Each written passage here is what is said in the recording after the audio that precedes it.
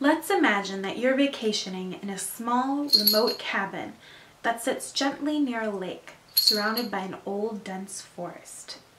It is a peaceful place, a place where you can relax and recharge, but it's also a place that is fully, deeply alive. In the morning, you awake just as the light begins to come across the horizon.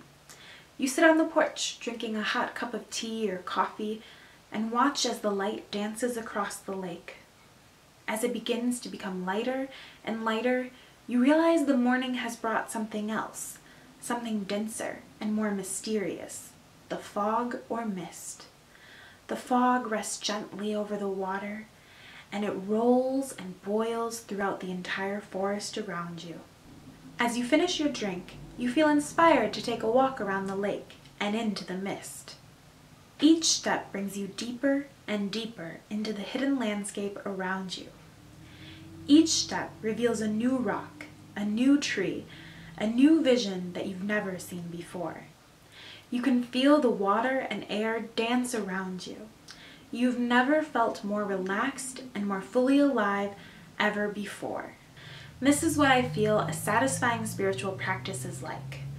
For me, a walk through the mist is a way to see the landscape in a new, fresh way. I can take the time to truly savor the small frames of nature around me. I feel the keen bite of adventure and unknown, even though I've walked the path a thousand times before.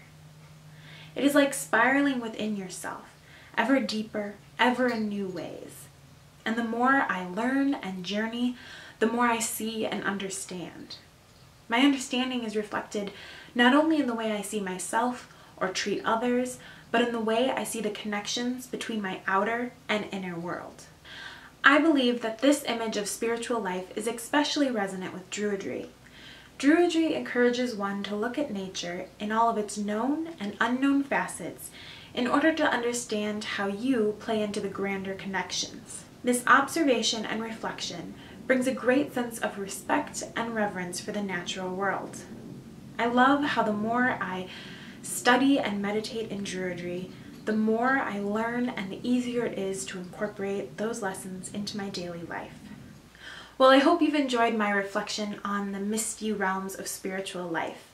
In the comments below, I'd love to hear your own personal metaphor for your spiritual path. Thanks for watching Esoteric Moment.